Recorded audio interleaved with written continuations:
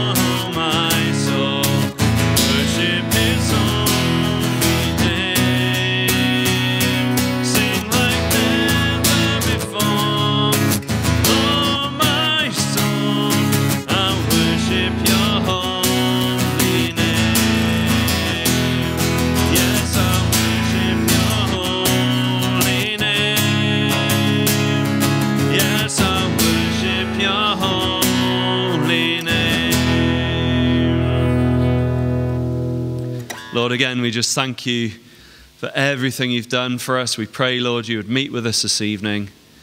Please just help us to see Jesus again, we pray. Amen.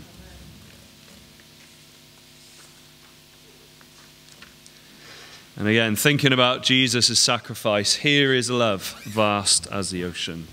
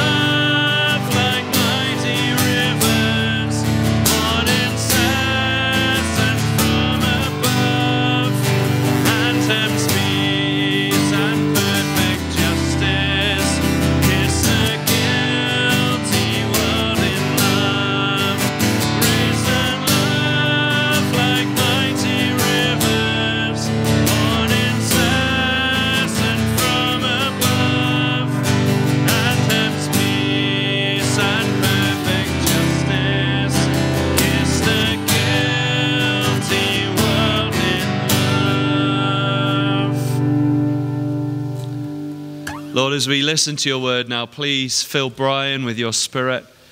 Please speak to us through him. And we just pray for Angela, I think it is, as she comes to read, Lord. Please speak to us, we ask, for your glory's sake. Amen.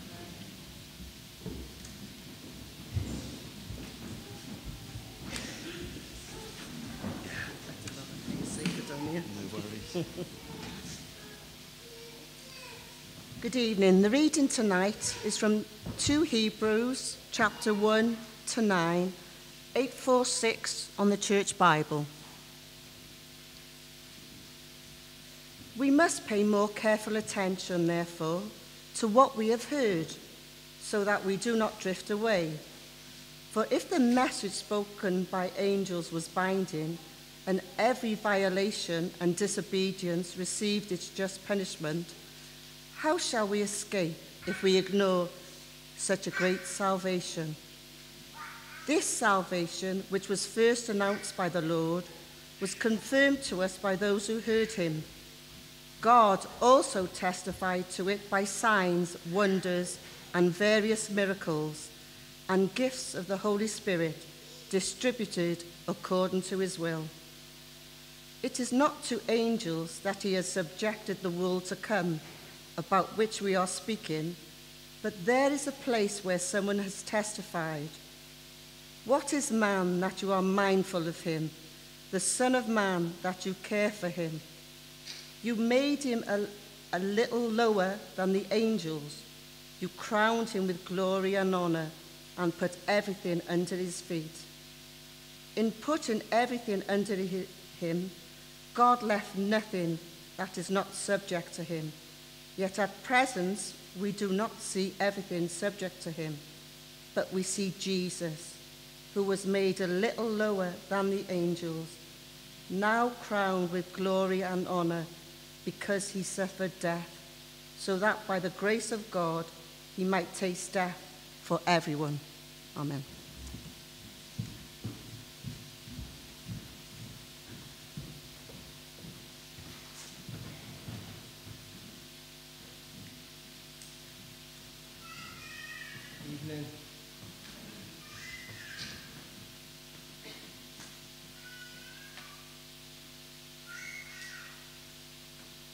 Cheers, Danny, again for stepping in.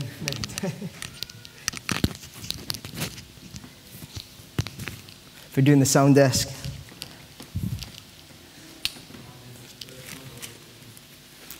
And, uh, and you, Josh, is it?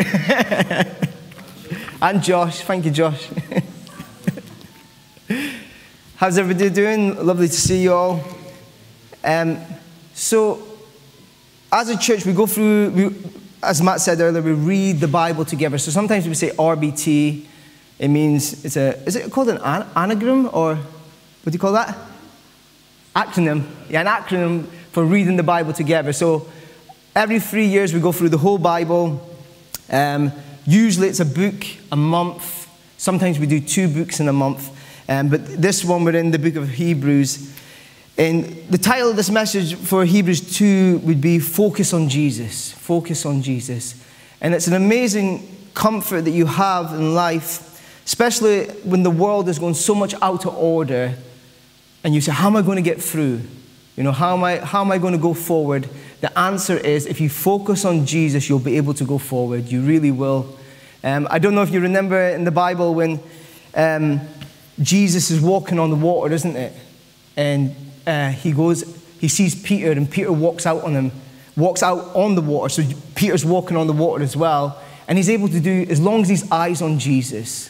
And I think what happens in, in life, if your eye get, goes off of Jesus, you, you go out of focus. You, you, you read things wrong, you read yourself wrong, you read other people wrong, um, and, and it just goes uh, pear shaped.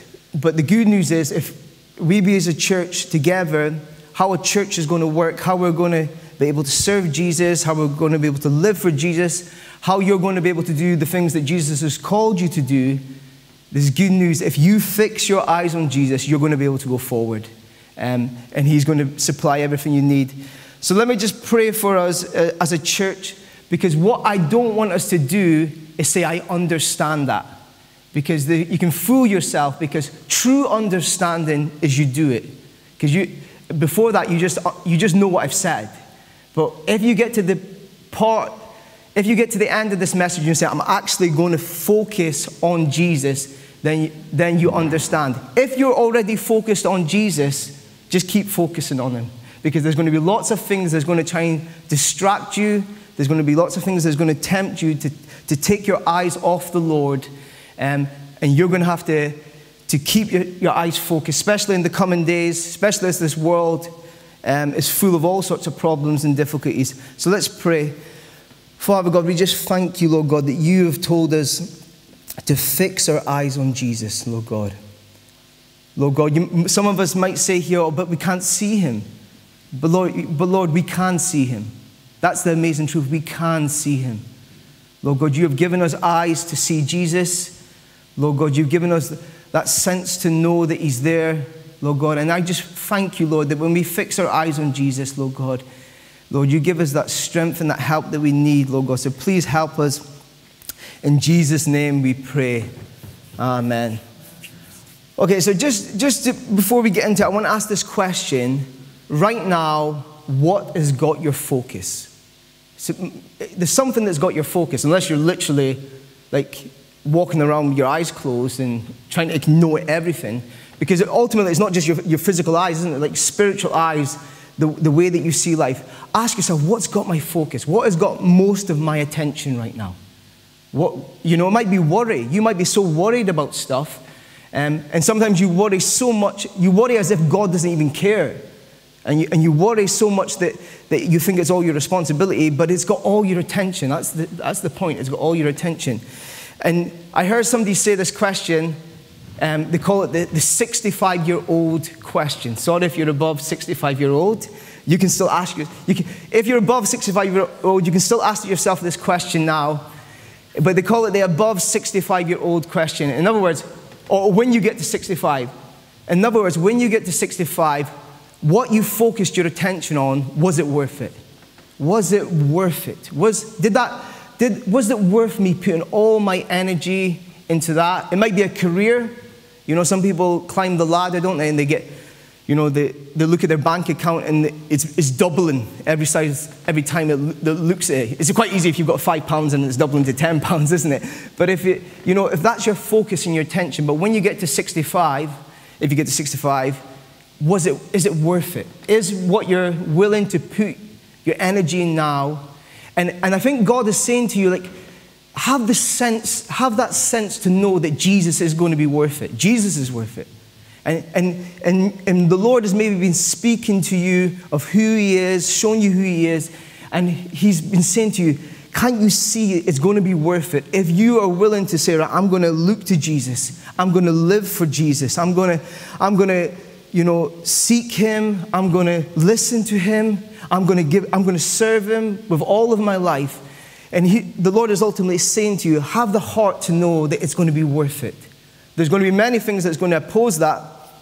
But uh, there's many things that will oppose that in your heart. And you're going to have to constantly refocus. You're going to have to constantly refocus on Jesus. There might be something in your own heart that goes wrong bitterness, unforgiveness, and you're going to have to refocus. There might be something that happens outside. Even, you know, Jesus actually talks about you have to even focus on Jesus even above your own family members. Because your own family members could, could pull you away, and you've got to say, No, I've got to, I've got to focus on Jesus. Um, just to give you an illustration, just to help us, there's some things in, in life that helps you get focused. So we were some of us were helping somebody move house the other day, okay?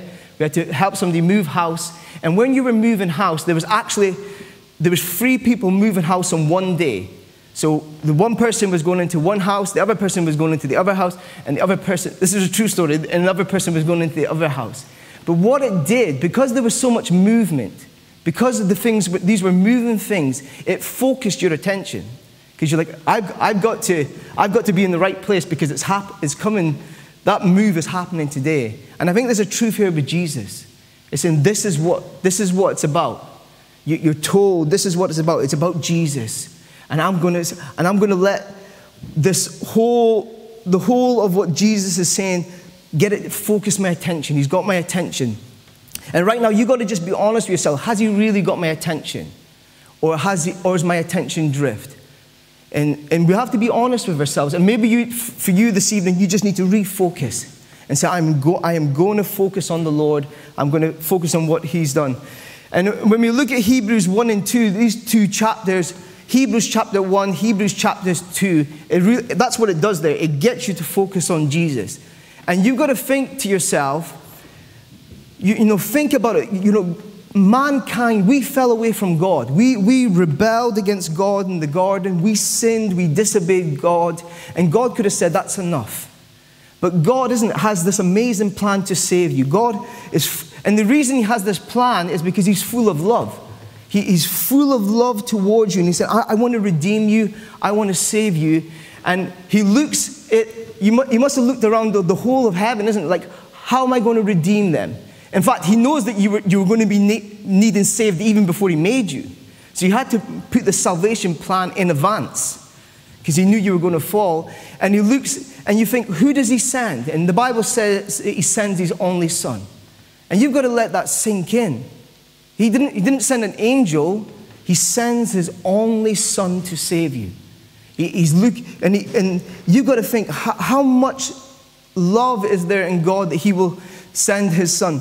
And we read it in Hebrews chapter 2, verse 9, that Jesus, the, the, the Son of God, is made a little lower than the angels.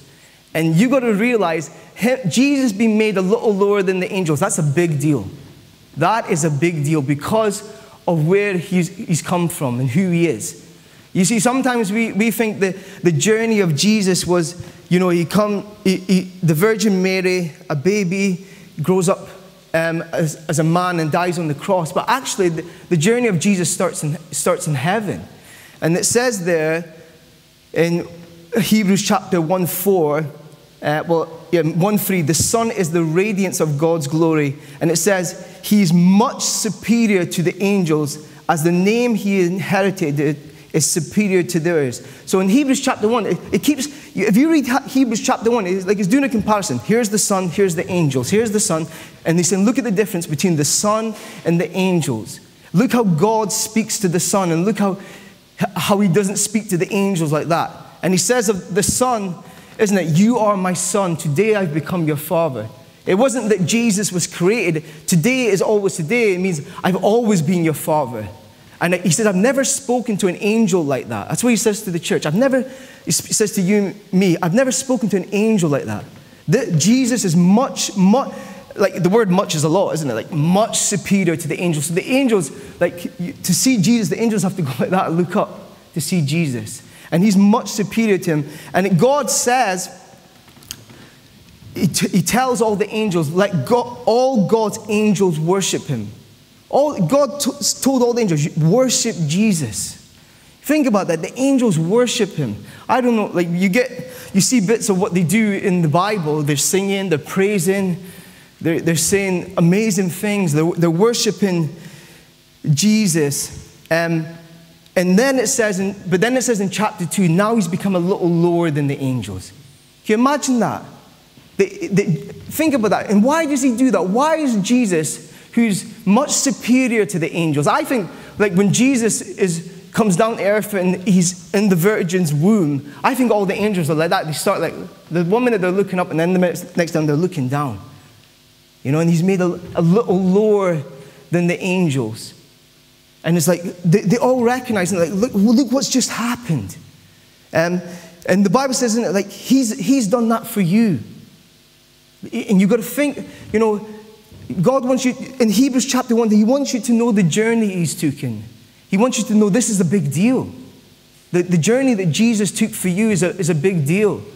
You know, he, he comes, and, and think about it, he becomes a baby, he, he goes into the, the, the womb of the Virgin Mary, but also, he think about it, he left heaven. The angels were, were worshiping him.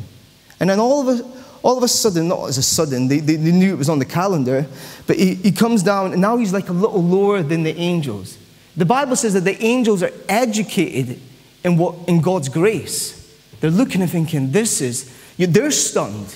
You know, only God has all knowledge and, has all wisdom. The angels don't have that. They're, they're like us, I think, in that sense of they're still learning things and, and growing like that. Um, and you've got to think, that's, you know, who, who did he send to save you? And God talks about this many times in the parables, isn't it? Don't you really, I sent my son to you. I've sent, I've sent the Son, isn't it? And it's, sadly, isn't it, when Jesus came, we killed him, we crucified him. God knew that was going to happen. It was his plan for it to happen to save you, but yet we still, that was still our heart. Is that famous verse, it? For God so loved the world that he gave his one and only Son.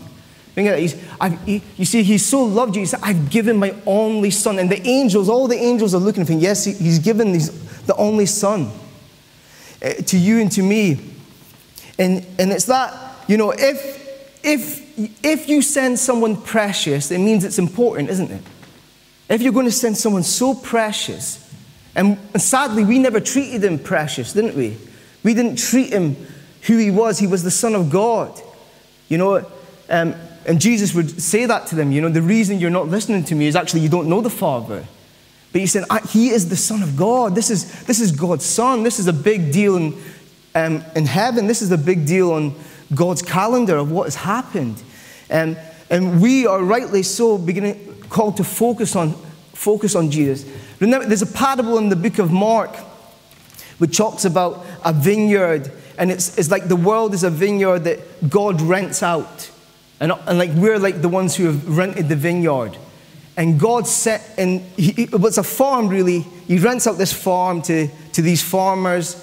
And then the harvest time comes, and God sends uh, people to collect the harvest. So it's like talking like us. God, we, this world is rented out to you, basically. You don't, you don't own it. And then God comes to look for the fruit in your life. And it says that he, sent servants, He sent people, and that's talking about the prophets in the past. And He sent them, and it says, We beat them. But He says these words he had one left to send. send. So after he'd sent servants, servants after he'd sent uh, the prophets to speak about Jesus, it says he had one left to send, a son whom he loved. He sent him last of all, saying, They will respect my son. So when God sent Jesus, he, he sent it with the intention you're to, you'll respect him. You'll, you'll recognize who he is. You'll recognize this is the Son of God. If you put any any level below that, you're not seeing Jesus clearly. If you just say teacher, if you just say, you know, he, even if you say just prophet, you, you're seeing him lower than what he is. It, it's, you have to have that revelation, like Peter said. You are the Messiah, you are the Son of the living God. God has sent his only Son, and he, he sent him saying they will respect him. And he, know, he sent Jesus to each one of us. And it says, The Son is the radiance of God's glory. In other words, Jesus um, being sent, Jesus dying for you, Jesus rising again, shines God's glory to you. This is God's love towards you. He said, This is, this is the power of what God can do. In that, in, in that of who Jesus was, in that story of who Jesus was, being sent, the whole story, from being sent to dying to, to, to rising again. He, the Son is the radiance of God's glory. He doesn't say like an angel is the radiance. He doesn't say creations is the radiance of, of God's glory. He says the, the Son is the radiance of God's glory. So everything you see of Jesus, you're saying, I'm seeing the glory of God.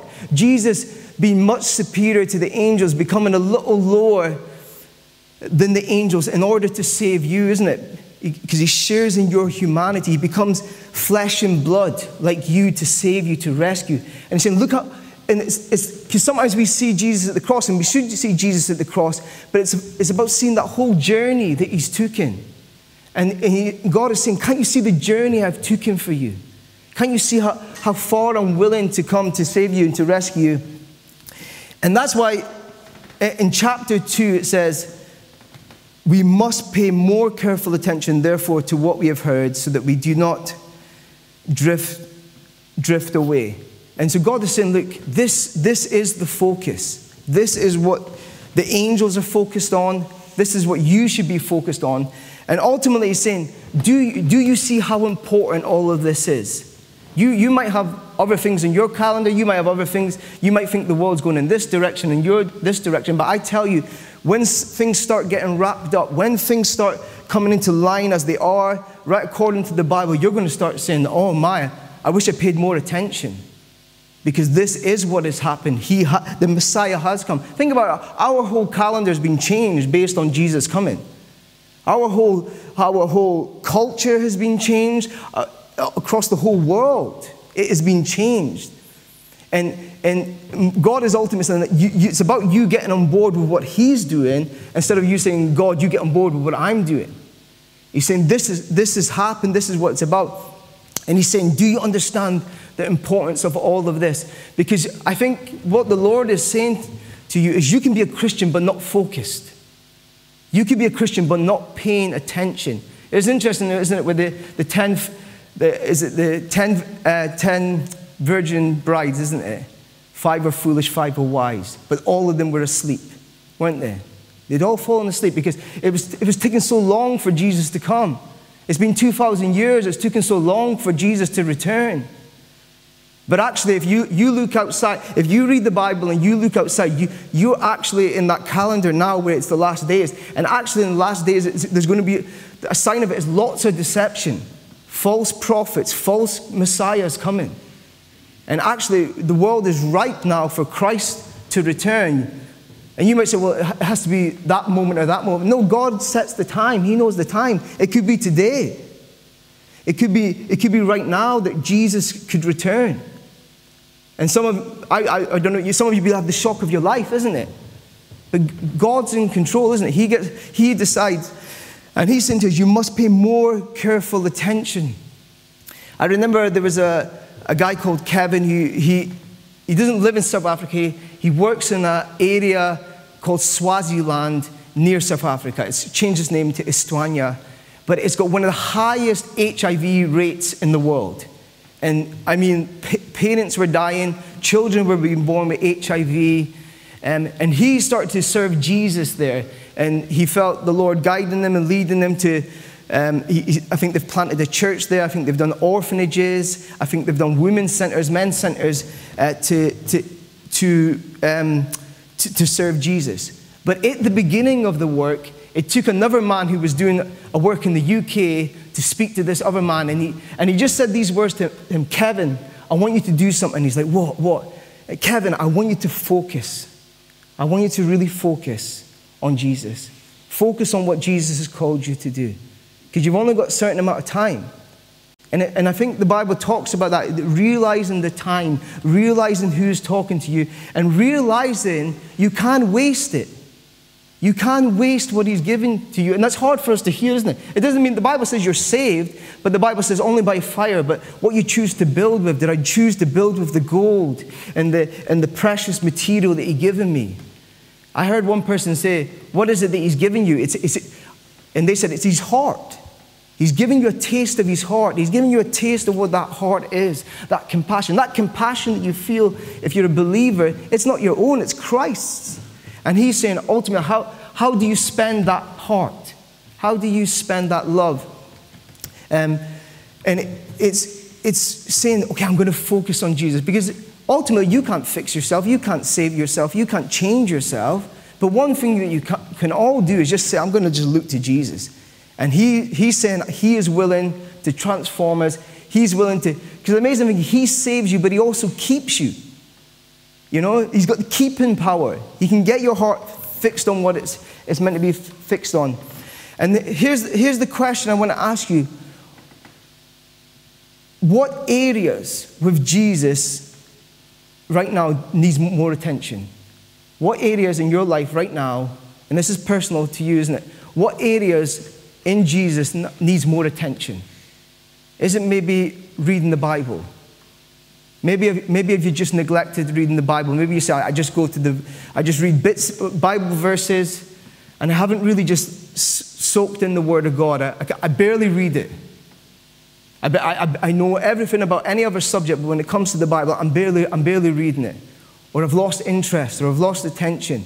Or, and the sad thing is, if you do that, you're, you're susceptible to other things. People, you'll, you'll constantly just let other people tell you what the Bible is about instead of you going to the Bible and saying, I'm going to read this. I'm going to get into the Word of God. I'm going to, I'm going to read the bits that are difficult and I'm going to read the bits that are, are good and I'm going to just let, I'm going to read the Word of God. And maybe the other, or the other bit needs attention is prayer. You, you've lost the heart to pray. You've lost the need to pray, and I'm not, I'm not praying anymore. I'm not praying about my family. I'm not praying about myself. I'm not, I'm not praying at all. Um, and there's a danger, isn't it, that, that you, you lost the focus in that.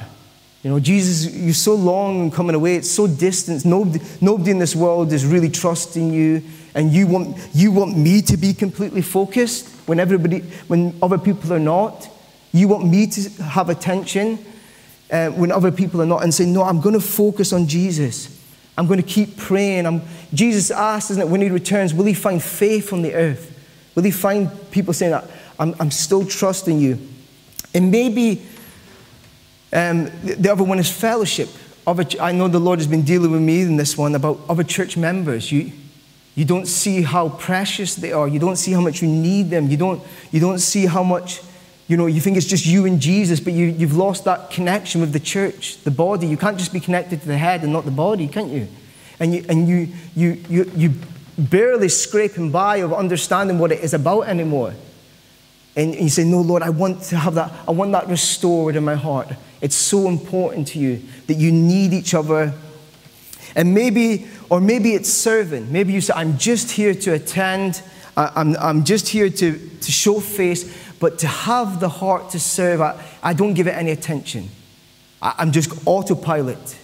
I'm in autopilot, and you'll get what you get out of me, and that'll be it. Then God's saying, you see, focusing on Jesus is about all of those things. I'm going to, I'm going to serve him. I'm going to, you know, once, once he's got your attention, that's it. You're, the Bible calls it like, uh, calls it like you're fixed. It's, you're locked. You're locked into Christ. You're locked into to, to having that heart to, to serve him. Um, uh, or maybe it's a heart for the lost. And I think we can all feel like that, isn't it? The Bible says that because the wickedness will increase, the love of many is going to grow cold. Because there's so many offenses out there. There's so many things that can offend you. You're almost like, you're, you're scrubbing your hands and saying, I'm done with this generation. And the sad thing is, God's not yet. When He has, he, everything's going to be wrapped up. But until that happens, you, you've got to still say, I've got to still be able to show mercy to a wicked generation. I've got to still be able to show that there's hope, that there's, there's mercy. And, and God's saying, Does that need more attention in your life? Are you going to focus on these things? Because when Jesus comes back, all of these things are going to come right into sharp, sharp focus again. Um, and it says there, for since the mes- verse 2, since the message spoken through angels was binding and every violation and disobedience received its just punishment, how shall we escape if we ignore such great a salvation? So, obviously, before, isn't it like, what is the things that need that attention? And what are you going to, and when you get to 65, are you going to say, well, was it worth it? Was it worth it that I, I neglected the Bible so much? Was it worth it that I neglected praying so much? Was it worth it that I neglected serving the Lord so much? And because Jesus then says, look, this, this message is binding. This is reinforced. He said, God's saying, look, this is, this is serious business. This is, this is heaven or hell. This is where souls get, um, the sheep and the goat get divided. These, these are serious things in heaven. This is about the souls of men and women, isn't it? This, these, are, these are the very things and fabric of the, the human being deciding there. God's saying this is serious stuff. And, and not only is it serious stuff, isn't it? It's serious love. You know, God sent his son, and look what we've done to him. Look, but look also what he's done for you. Look how he's come to rescue you. And your life, the whole of your future, the whole of heaven and hell, heaven and hell depends on how you treat the son.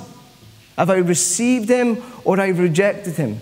And obviously, us as being saved, isn't it? We, we've turned to him and we've asked for mercy. Like Psalm 2, isn't it? Kiss the son, lest he be angry. And I'm saying, he is the one. He's the one uh, um, ins- installed in God's holy hill.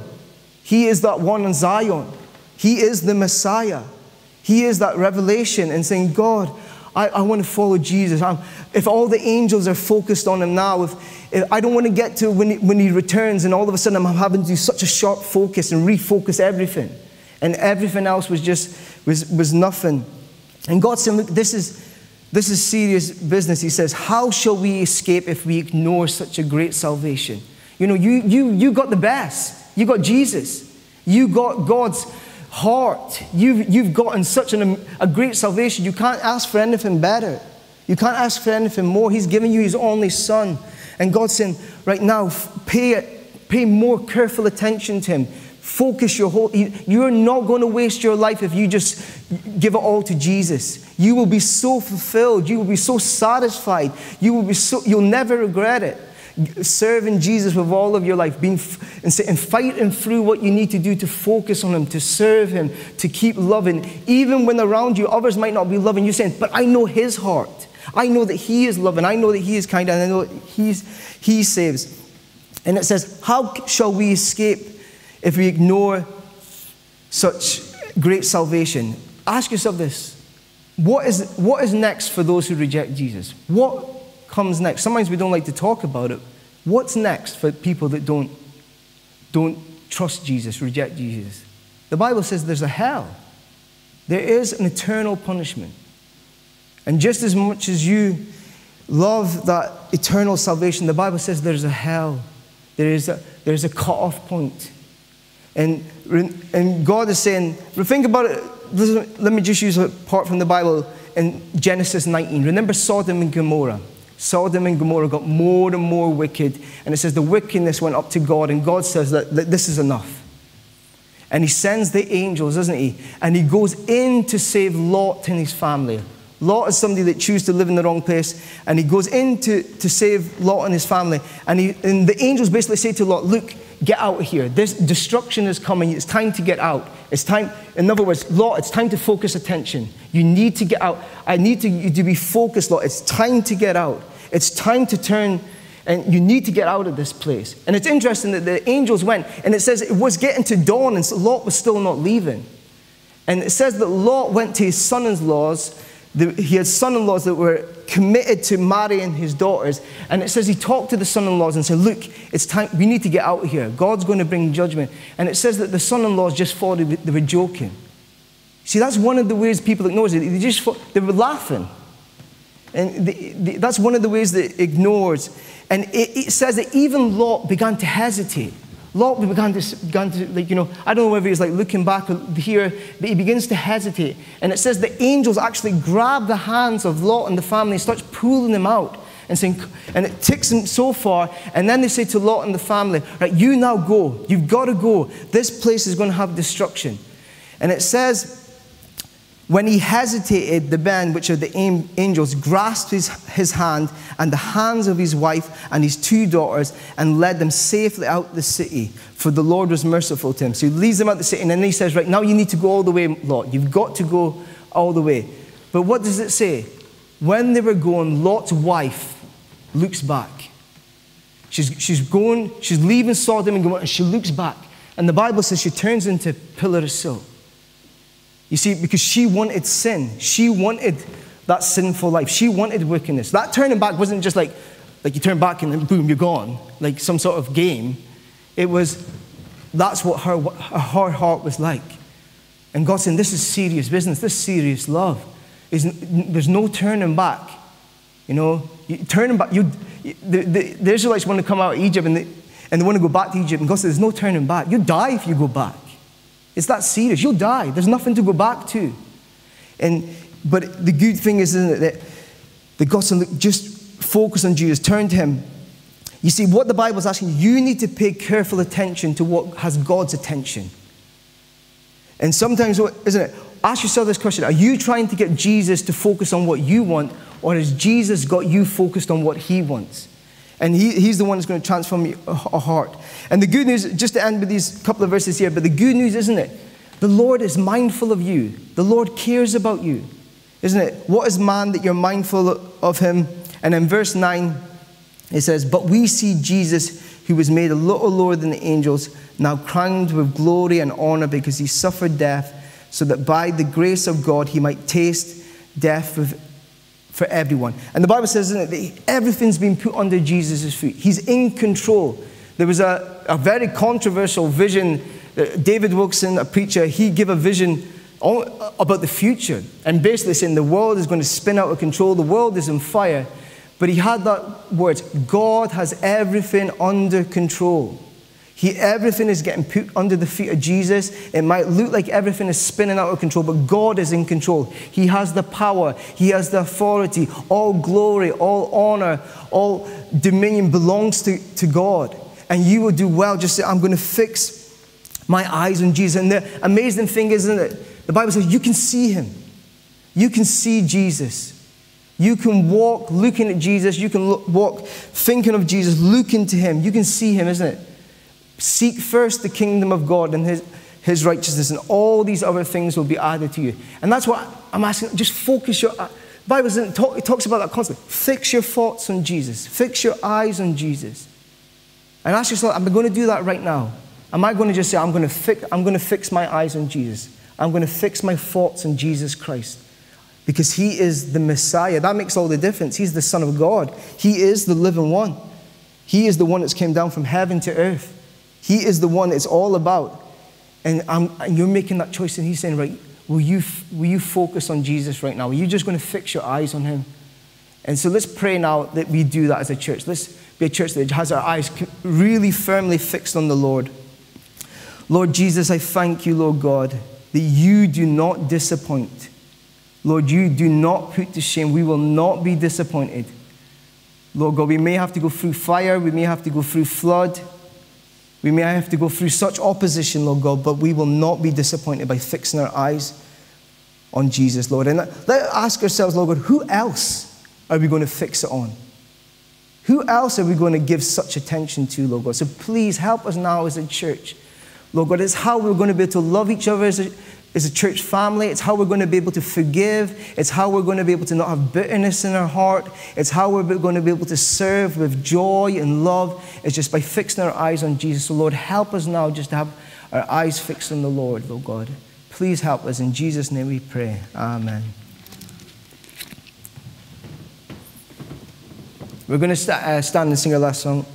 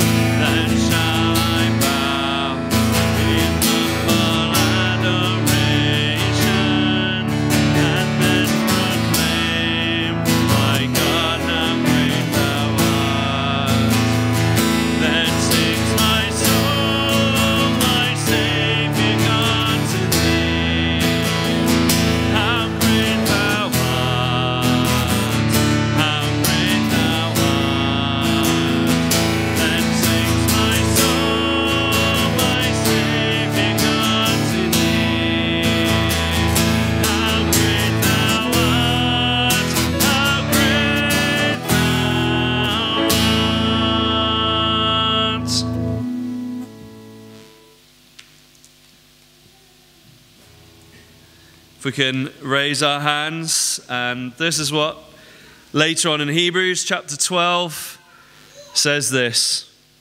Let us fix our eyes on Jesus, the author and perfecter of our faith, who for the joy set before him endured the cross, scorning its shame, and sat down at the right hand of the throne of God.